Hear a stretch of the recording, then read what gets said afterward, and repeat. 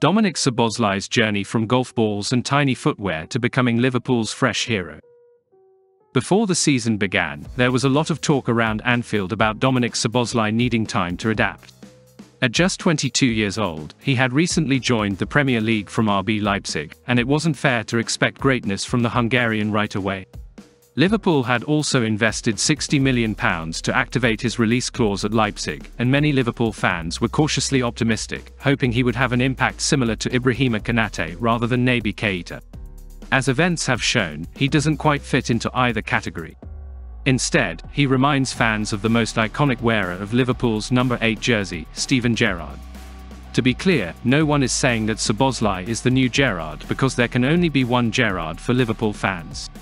However, the way Szoboszlai scored his sensational goal on Wednesday night at Anfield against Leicester was reminiscent of Gerrard. He unleashed an unstoppable shot into the top corner from outside the box within five minutes of coming on, completely changing the momentum of the game in Liverpool's favour. Now, Liverpool's midfield contributes with goals, assists, and tireless running. Their defence also benefits from a reliable protective shield in front of it, a far cry from the past.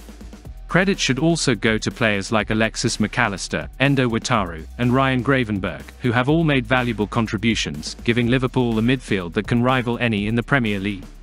Despite being just 22 years old, he already captains his national team and arrived at Anfield with excellent English language skills, a stark contrast to Darwin Núñez's struggles with the language a year ago.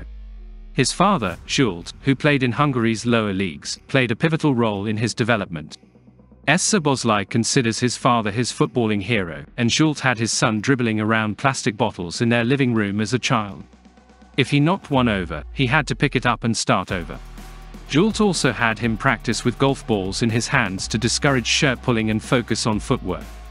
He even made him wear small boots to prevent his feet from growing too large, and now Szoboszlai wears size 7s despite being 6 feet 1 inch tall.